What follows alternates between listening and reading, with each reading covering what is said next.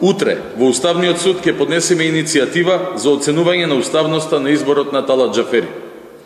Веруваме дека Уставниот суд честно и професионално ќе заврши својата работа и нема да дозволи преку вакво насилничко и флагрантно не кршење туку дробење на Уставот на Република Македонија да се спроведува активка окупација врз нашата држава, рушејќи ги темелите на независноста на Република Македонија.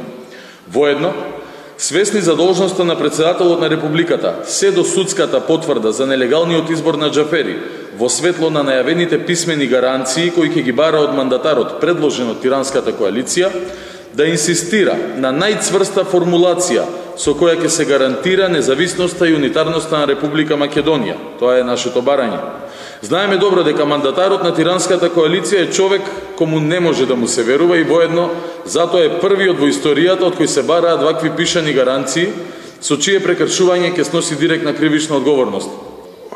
Ова представка до усамниот суд е најбрзото легална, најбрзиот легален чекор што можеме да го преземеме, додека се работи на комплексната тужба која веќе ја најуваме две недели.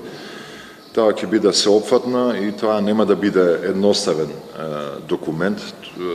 Буквално ќе биде трактат во кој ќе се обвинат сите фактори кои ја предизвикуваат оваа повеќе годишна криза во Македонија.